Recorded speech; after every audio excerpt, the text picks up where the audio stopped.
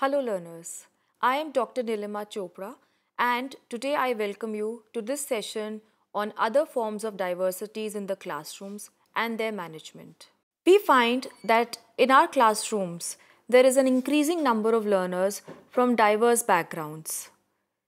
This can be attributed to the efforts of the government as well as the voluntary sector on enrolling all children in our schools and classrooms.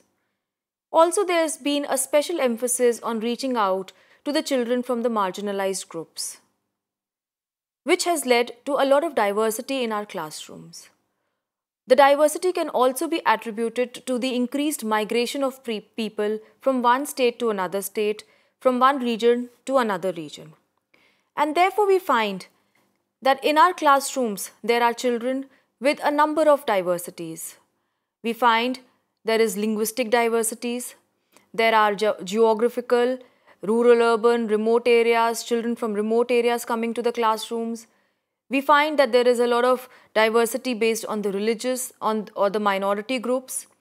We find cultural, ethnic diversities, and we also find that there are children who belong to the lower socioeconomic uh, strata and from the poverty affected families. In the Indian scenario, caste system also plays a major role and there are children from varied uh, scheduled castes and scheduled tribes. There are gender differences in our classroom and we also find that there are children with special needs in our classroom. So how do we deal with this diversity? Well, Teachers have different responses or different reactions to this diversity in the classroom. Many teachers might deny that diversity affects their classrooms, or they might be aware of the diversity but are not happy about it.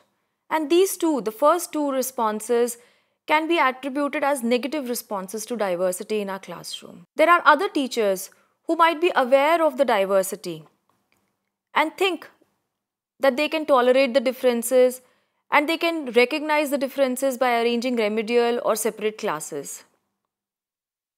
A more positive response is reflected when the teacher is able to meaningfully engage all the children in the classrooms irrespective of their diversities. Also, it is found that the teacher is able to help the children or the students learn to the best of their ability in the classroom then it is a positive reaction or a response to diversity in a classroom. According to a UNESCO document, if the teacher has a negative response or a reaction to diversity in her or his classroom, then there can be some problems in the classroom management, and these problems are listed on your screen.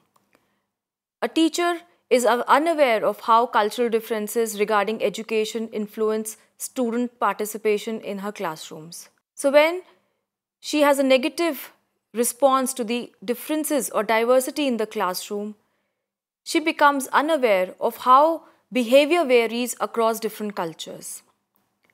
A teacher also might allow certain students to dominate class discussions, and she might not give equal opportunities to all the students in the classroom. A student makes a gender stereotypical remark which alienates the girl students. And this problem might arise if the teacher is not aware or sensitive to the gender differences in the classroom or she does not know how to handle these differences in the classroom.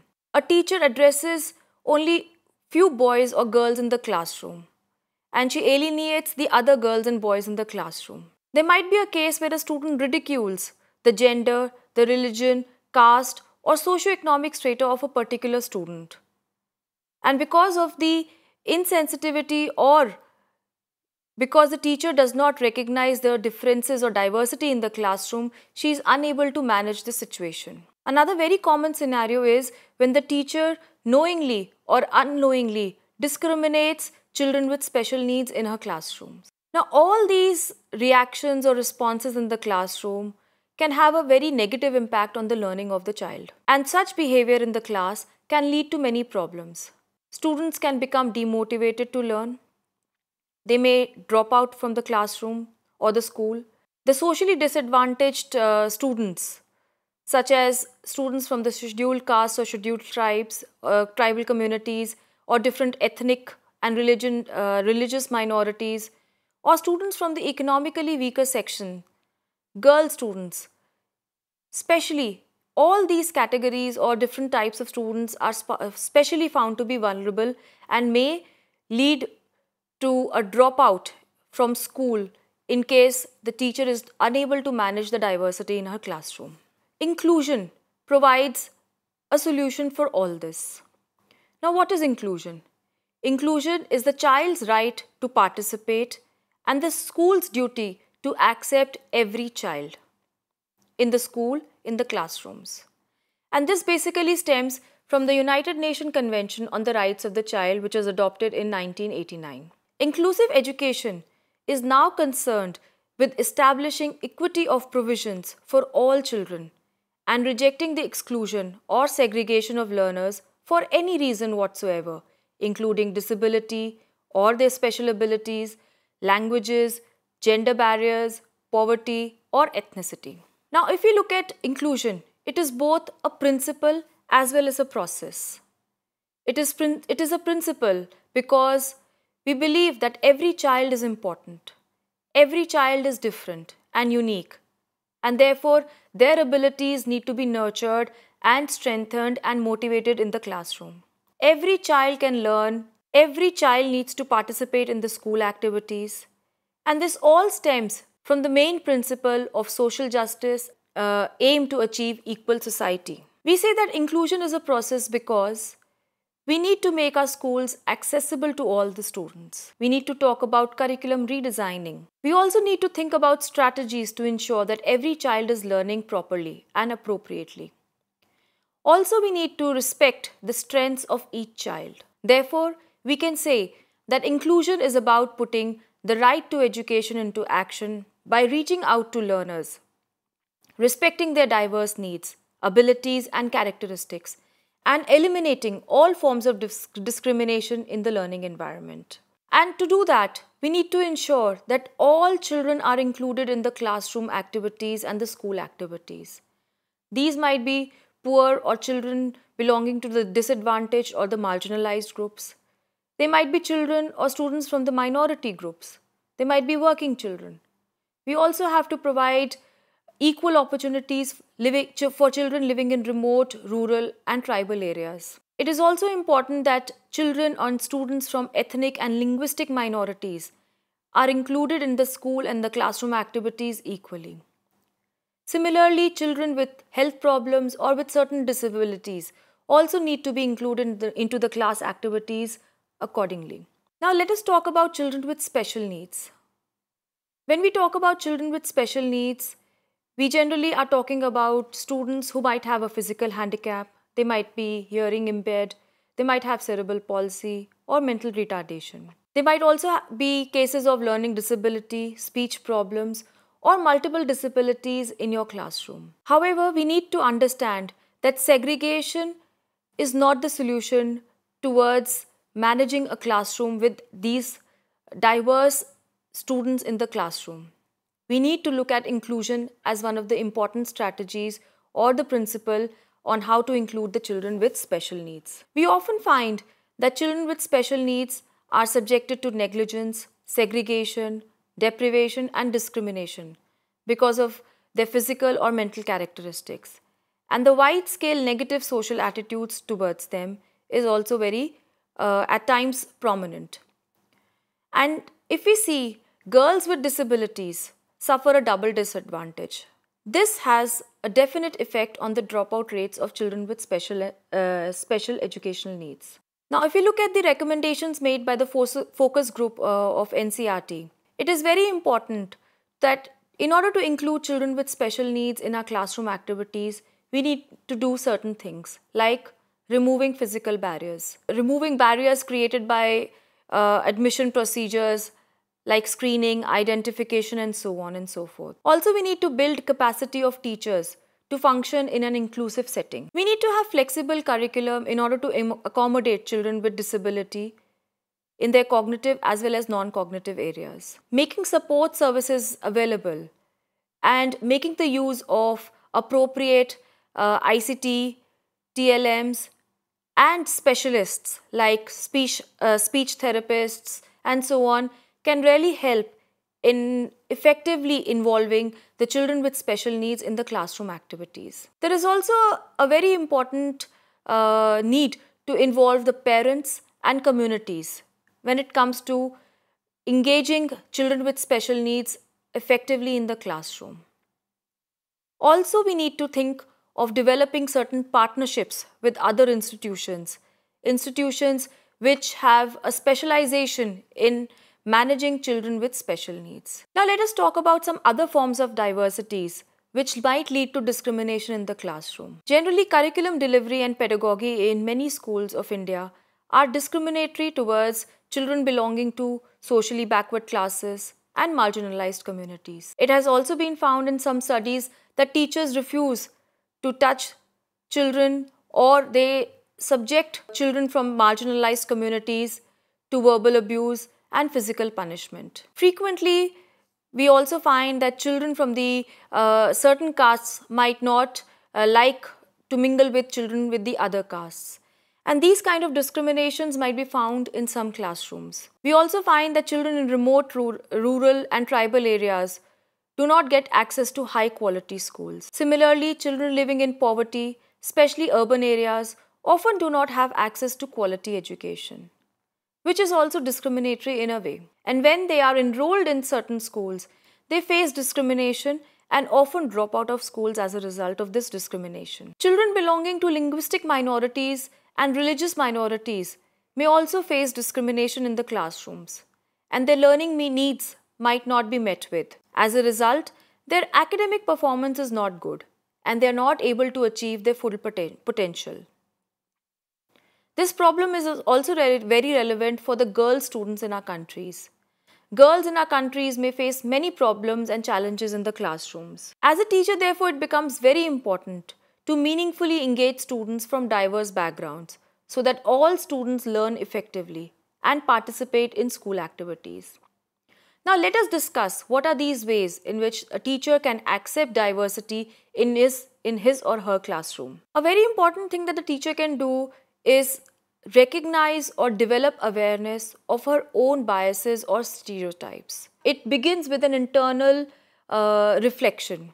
When she becomes or he becomes more informed about the history and cultures of groups other than what uh, the culture or group that she belongs to, then it leads to more awareness and it also leads to more understanding towards different communities, ethnicities, and religious minorities. A teacher also needs to rectify or look and introspect at any language patterns or case examples that might exclude or demean any groups of children in her classroom. It is very important that the teacher be sensitive to terminology that refers to specific ethnic and cultural groups. A teacher can also reflect human diversity in her classroom. And while preparing for class activities, questions, or discussions and assignments or exams, she can think of examples from diverse groups of cultures, ethnicities, or religious groups and give those examples, cite those examples in the classroom. It is very important that the teacher model to new ideas. Because if the teacher is the role model for the teacher and she is open to new ideas and different ways of thinking, she is encouraging children also to accept, accept diversity within their classmates. It is also important to set certain ground rules for respectful interaction in the class. The teacher also needs to encourage discussion among students and educators themselves.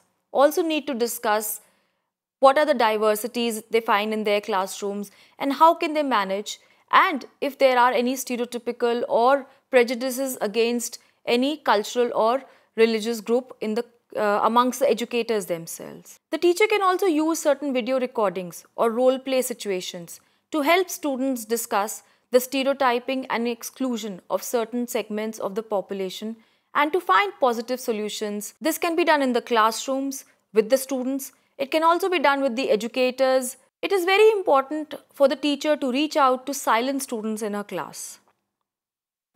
And she should encourage the students who are silent or shy in the class to participate in the class activities with more uh, you know encouragement and motivation. It is also very important that the teacher is observant towards any issues of power in the classroom and she discourages any power uh, issues in the classroom or any uh, type of behavior which is discriminatory towards other groups of children. Whenever possible, it is very important that the teacher selects certain texts and readings whose language is gender neutral and free of stereotypes. Or he or she should be able to cite the shortcomings of material that does not meet these criteria. It is very important for the teacher to use language that is gender neutral or that uses female pronouns as often as male pronouns. The teachers can also incorporate students' native language in the classroom activities. This will help uh, students belonging to language uh, linguistic minorities to feel more welcomed in the classroom. And if possible, the teacher can also learn and use a few words in the children's native language in the classroom. This would be very encouraging and motivating for the children belonging to linguistic minorities. In the classroom, it is very important for the teacher to treat each student as an individual and respect each student for who he or she is. It is very important that the teacher addresses each child's educational needs and conveys the same level of respect and confidence in the abilities of all her students, irrespective of the background or the diverse uh, uh, diversity that she experiences in her classroom. Aim for an inclusive curriculum that reflects the perspectives and experiences of a pluralistic society. The teacher can give assignments and exams that recognize the students' diverse backgrounds and special interests. This will help in encouraging the students belonging to linguistic minorities, religious minorities, and ethnic minorities to participate actively in the classroom activities. A very uh, effective strategy in encouraging students to participate in the classroom is making them work in groups. Therefore, the teacher can use collaborative learning and peer learning. The teacher can also give students many opportunities to work together in small groups, maybe groups of 3 or 5, 3 to 5, on a variety of problem solving abilities, which stresses the importance of using personal experiences. Also, it is very important that uh, the teacher involves parents and families in various class activities or in discussions. Another way of handling diversity and encouraging diversity in the classroom is by bringing in guest lectures, lecturers or uh, guest teachers to foster diversity in your classroom. The guest teachers or the lecturers can provide a variety in the classroom which can help the students to understand diverse points of views. By bringing in different people to the classroom as resources, the students might be able to connect with. Therefore, the teacher can search out people that are different from herself and that might have certain qualities uh, that might who might share certain qualities with her students. Students also need role models. Many times, when they see that they are connected in some way to a person, they will be more uh, uh, willing to listen and to learn from them. So bringing, bringing in more people as resource persons in the classroom also helps and encourages children belonging to the marginalized communities. If the teacher aims to create inclusive classrooms, then the following factors need to be considered. What is the syllabus? What is the course content? Is there certain flexibility in these? In order to incorporate the uh, the diversity in the classroom that she has. She also needs to keep in mind her class preparation.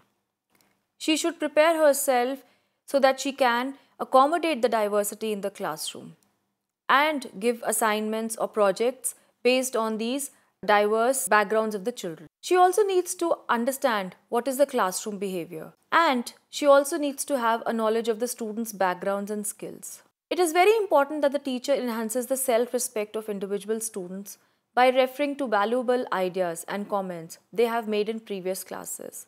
Therefore, by reinforcing positively the students, she can encourage that all students participate in her classroom, especially children who belong to diverse backgrounds.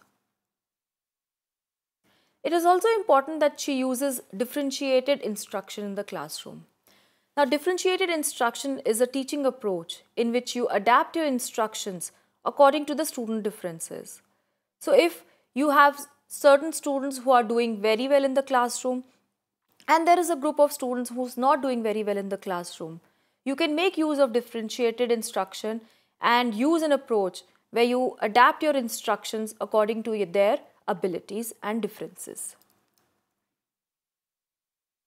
If you look at uh, uh, certain differences in the learning styles of students, we find that students often have three, four or five different learning styles. There are certain students who use their visual uh, abilities more. There are certain students who use their audio abilities. Certain students who prefer to use their read and write abilities. And certain students who learn very effectively using their kinesthetic abilities. So for the students who are who use mainly their visual uh, abilities, it is very important that we design and arrange and lay things out nicely for them. Their spatial representation is very important and they understand patterns, shapes and symbols. They also get extra meaning from coloring, spacing, uh, you know, formatting and they work very easily with graphs, charts, maps, diagrams and anything symbolic. So for the visual students who make use of their visual abilities in the classroom, she can have activities or plan activities wherein the visual abilities are used quite often. There are certain students in the classroom who use their audio abilities very well. They learn through talks, including self-talk and discussions. They may not understand something until they have said it themselves, and they like to repeat it to themselves. They would also prefer to speak their learning if there was an opportunity. They prefer teachers who use words well and who can explain things clearly in the classroom. And they often like to communicate using the phones, email, texting, chatting, and so on. Well, these students learn very well using these kind of activities, and the teacher can incorporate various auditory activ activities in a classroom to cater to the needs of these students who learn primarily by using their audio abilities. Then there are certain students in the classroom who make use of their read and write abilities. That is, they learn through examples of the written word, they learn through books, dictionaries, references, and you know, the spell checks are very important for them. They also admire those who write well and use interesting words. They gather quotations, articles, and lists. They have, uh, uh, they use handouts. So, certain students therefore use their read and write abilities, and the teacher can cater to these students by arranging a number of activities which help the students to read and write and use their abilities accordingly. For the kinesthetic students, they learn through experiences, especially their own, and they want concrete experiences. They like videos, simulation, games, case studies, and they want uh, their reports and projects to be done as demonstrations, experiments, and class surveys. They often use real life experiences to explain things, use examples, they teach with, uh, learn with exhibits, sample newspaper stories, and therefore the teacher can use these activities in order to encourage and make use of the kinesthetic ability, learning abilities of the students. Therefore, by uh, creating uh, different kind of activities in the classroom, the teacher can cater to different abilities of the students in her classroom. Therefore, we see that in a classroom we find a number of students with varied uh, with from diverse backgrounds and with varied abilities. They might belong to different ethnicities, different religions, different uh, regions. And therefore, this concept of multiculturalism is gaining a lot of importance in education. And when we talk about multiculturalism in education, it refers to promoting tolerance and understanding. It is appreciating and accommodating similarities and differences among students' cultures we are also talking about including resources, celebrations, artifacts, and festivals from varied cultures. It is very important to take time to learn about your students' backgrounds, interests, and learning styles. This will allow the teacher to create an environment that is conducive to each student uh, in the classroom who may or may not belong to the marginalized community. It is also very important to allow time for the students to learn about each other and gain an appropriation for the diversity that they bring to the classroom.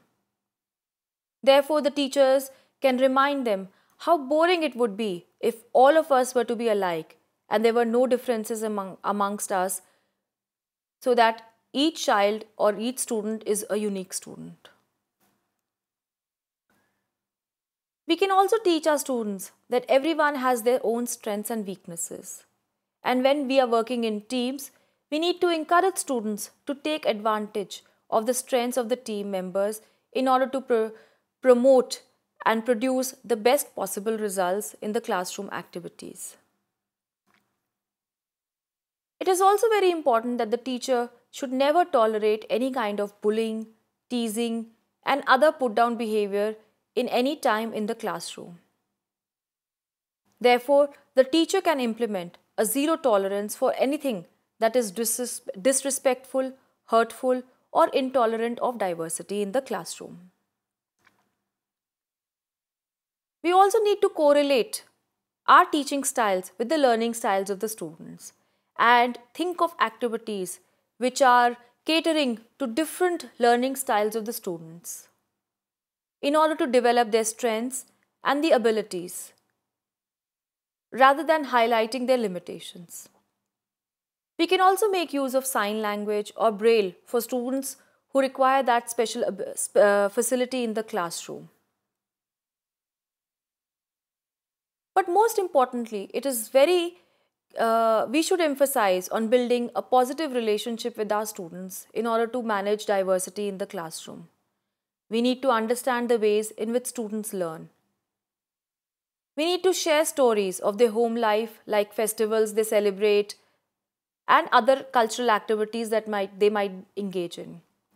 We need to show students pictures of people from different cultures and ethnicity. We can help students relate with the similarities that they have with diverse groups of people. Also, the teacher can talk of role models of famous personalities from different cultures. This would really encourage and motivate the students. Teachers often face challenges to use the diversity in these classroom constructively. Last year,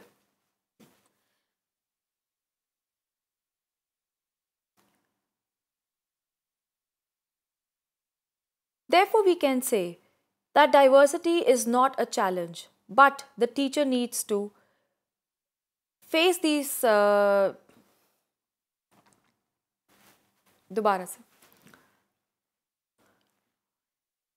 Therefore, therefore we can say that diversity is not a difficult thing to manage, but when the teacher sees diversity in the classroom and uses it constructively, then she can manage the diversity in the classroom and encourage all the students to participate.